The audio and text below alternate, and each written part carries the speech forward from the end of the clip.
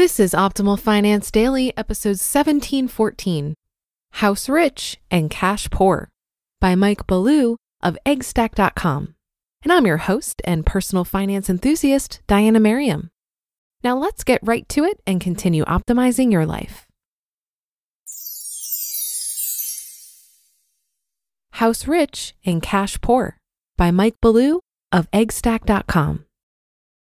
Do you have substantial equity in your home but worry that you may not have enough savings to enjoy retirement? If so, you're not alone. That's what it means to be house rich and cash poor.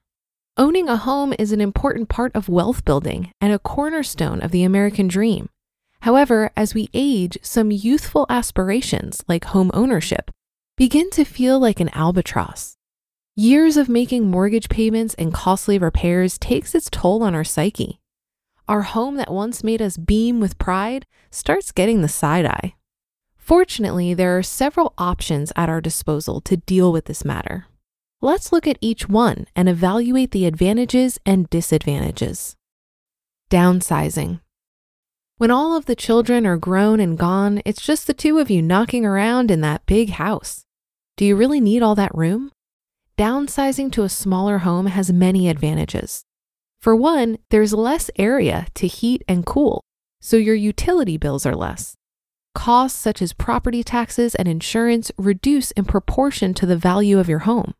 The equity banked from downsizing can be used to have fun or supplement your living expenses. One of the cons of downsizing is the fact that a good portion of the equity goes to the process of buying and selling.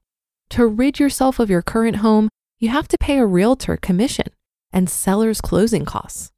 Plus, there are often repairs or upgrades needed to list the home.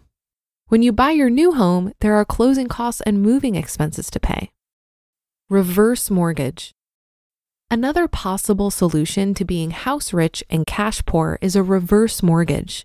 If you're 62 years of age or older, you're eligible for a reverse mortgage. A reverse mortgage allows you to draw down the equity in your home and use it as you wish. Proceeds from a reverse mortgage are not taxed and they have no effect on Social Security or Medicare benefits. If you live longer than expected or market conditions change, the bank absorbs the loss. No debt is passed on to your heirs. The primary disadvantage of a reverse mortgage is that you are essentially married to your home as in, until death do us part. Forget about moving to a new location or chasing your children around the country to be near your grandkids. We've just touched the surface here. If you're interested in learning more, check out our article entitled How Does a Reverse Mortgage Work? Investment Property. If you want to really shake things up, you could turn your home into an investment property. Move into an apartment or RV and lease your home or you could turn it into a vacation rental like an Airbnb. You may end up with more headaches than you know what to do with, but there will never be a dull moment. Most retirees are looking to offload responsibility, not take on more. However, as crazy as this idea sounds, it's actually the most likely to pass on the full value of your home to your heirs. If this piques your interest, check out our articles titled Investment Property and Top Considerations for Becoming an Airbnb Host. Conclusion Life is funny. When we start out, we can't wait to quit renting and buy a house. As we get older, the thought of leaving home ownership behind and renting feels like a breath of fresh air. Let somebody else deal with all the hassles. When something breaks, you just make a call. Actually, that is more fantasy than reality. Unless you time it just right, renting in retirement is a great way to outlive your savings and go broke monthly rent payments are significantly higher than paying insurance and property tax on a paid off home. Plus, when you rent, you're at the mercy of the landlord who can raise your rent or kick you to the curb anytime they please. Unless you rent a house, you have to lug groceries and trash up and down stairs in the rain and snow. There's no doggy door or fenced in backyard, so every time nature calls, you have to take Fido for a walk to an unpleasant patch of grass where everyone else walks their dog. If that's not enough, you have to listen to your neighbors fight and make up. Think about it. Retirees who yearn to ditch their home and rent have simply forgotten what it's like to rent. A better way to deal with homeowner burnout and age related issues is to stay in your home and pay people to do things for you. Almost anything you can imagine can be outsourced lawn mowing, snow blowing, painting, maid service, pressure washing, pest control, repairs, and maintenance. Think you can't afford it?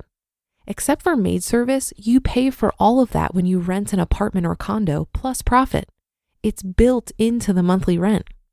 You can preempt unpleasant emergencies by being proactive about maintenance. Every 15 years, replace your home's roof, water heater, and heating and cooling system. Sound too expensive? It does, but if you break it down into its monthly equivalent, it really isn't. A roof is $15,000, a water heater is $1,000, and a new heating and cooling system is $7,000. That's $23,000. Set aside $120 each month. That's $23,000 divided by 15 years divided by 12 months, and you'll have the money when you need it. Finally, consider this. If you're house rich and cash poor, at least you're rich in something. That's a first world problem that much of the rest of the world would be happy to have. You just listened to the post titled House Rich and Cash Poor by Mike Ballew of eggstack.com. One of the most challenging parts of real estate investing is finding a deal that actually meets your investment goals. You've probably spent a ton of time scouring properties and plugging the numbers into spreadsheets, only to be disappointed that it didn't check out. Investing in real estate can quickly become a full time job. The team over at Awning is trying to change that Awning is a real estate investing platform that really puts the passive back into passive income. They're a brokerage, just like you're used to, except they have technology superpowers to help get the most out of your investment.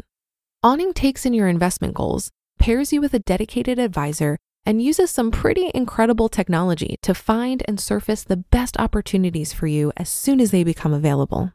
Awning's platform shows you everything you could possibly want to know, from rental and appreciation estimates neighborhood trends, school scores, and more. If you're looking to supercharge your investment search and want to close on better deals while investing less time, give Awning a try. Head over to awning.com slash OFD to start fast tracking your real estate investing process. That's A-W-N-I-N-G dot com slash OFD. This article reminds me of an email I got from a listener who was questioning if she had enough to retire. Well, she had over a million dollars, a large majority of that was in her house, so she couldn't really live off that in retirement unless she sold the house. I like the advice from my friend Frank Vasquez over at Risk Parity Radio, who recommends to have no more than 10 to 20% of your net worth in your residence so that you can put the bulk of your money into income producing assets. On another note, I did some reading recently on reverse mortgages and it sounds to me like this is a last resort option that only makes sense for people with certain unique circumstances. One of the things that I read that gave me pause is that the reverse mortgage must be repaid when the borrower dies, permanently moves out, or sells the home. And you're accumulating interest through the life of the loan that eventually needs to be paid back. So if you want to leave your home to your children, for example, having a reverse mortgage on that property could cause problems if your heirs don't have the funds needed to pay off the loan. Another thing to consider is that in order to benefit from the reverse mortgage, you need to be healthy enough to continue living in your home. If an individual's health declines to the point where they must relocate to a treatment facility, the loan must be repaid in full. So, a reverse mortgage might not be the best long term strategy for someone who has growing health concerns as they age. And that should do it for today. Have a happy rest of your day, and I'll see you on the Friday show tomorrow, where your optimal life awaits.